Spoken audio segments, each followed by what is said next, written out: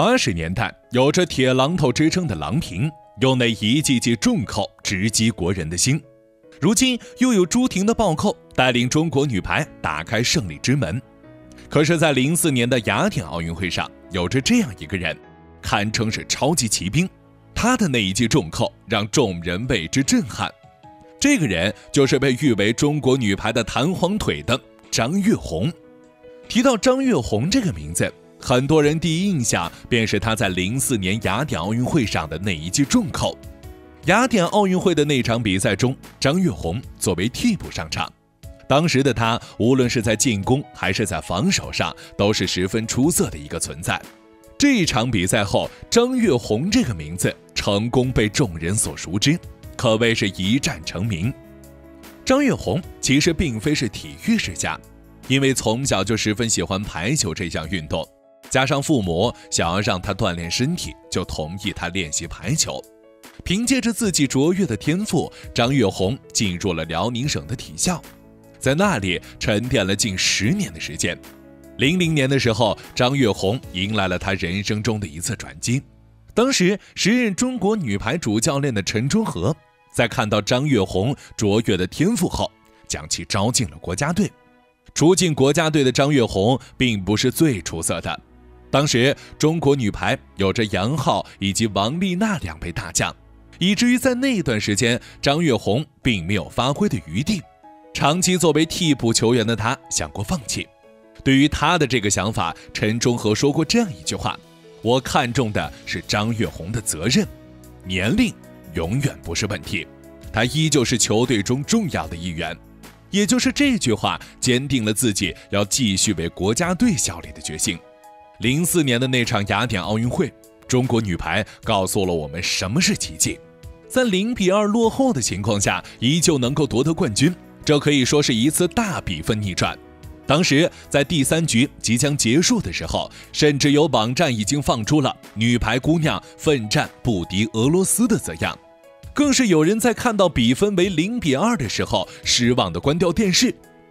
众人似乎都以为这次中国女排输定了。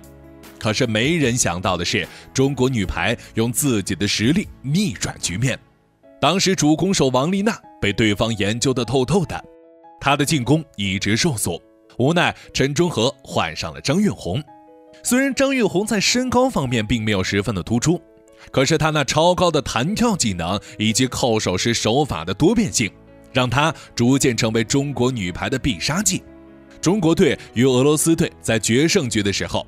中国女排以十四比十一的成绩暂时领先，在俄罗斯追回一分后，陈忠和叫停，并且安排副攻张平进攻，双方就这样形成了拉锯战。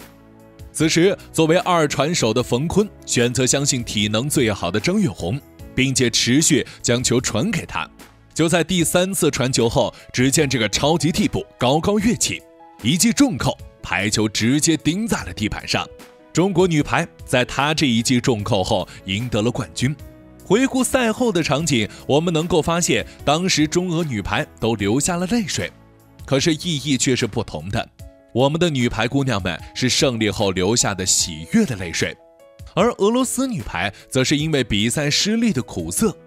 对于这场比赛，张月红曾表示，经过这么多年，自己依旧不敢看这场比赛的回放。每看一次，自己都会激动的起鸡皮疙瘩。这一场比赛结束后，张月红表示自己想要参加北京奥运会。可是，一个人的出现打破了张月红原本在国家队的位置。